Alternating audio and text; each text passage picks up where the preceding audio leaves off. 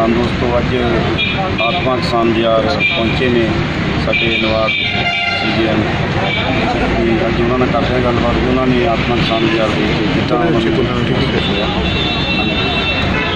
مجھے بڑی پرسنسا ہوئی۔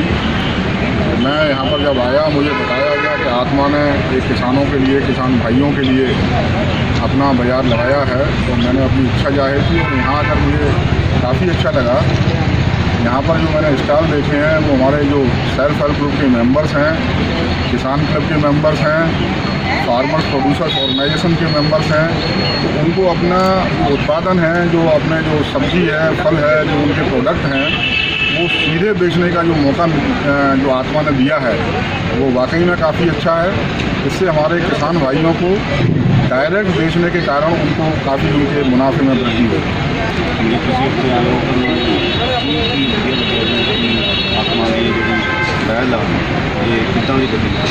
دیکھیے، یہاں پر میں نے کافی پروڈکٹ دیکھے اور میں مجھے سارے وہ اچھے لگے۔ اس تو پارمپرک ان کے پروڈکٹ ہیں، جیسے کہ اچار، بڑی مربع ہیں، جیم، جیلی ہے۔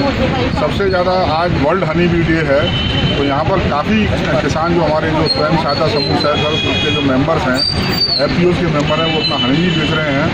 اور ایک سب سے بڑا مجھے اچھا جو پروڈکٹ لگا، کہ ایک مطلب جو سموہ ہے، جو سیلف ہیلپ گروپ ہے، وہ اپنا دودھ سے پنیر بنا رہا ہے اور پنیر کا جو اس کا جو پانی بستا ہے، اس کو اس نے اس میں شہد کا اور مینگو کا فلیور ڈال کے جو سافٹ ڈرنک اور یا کولڈ ڈرنک بنائی ہے، جو کہ بہت ہی لابھ دائک ہے سواستھ وردک ہے، اس میں کوئی ملاوٹ نہیں ہے۔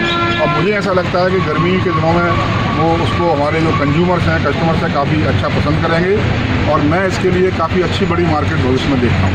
ٹھیک ہے جی، تھینک یو جی۔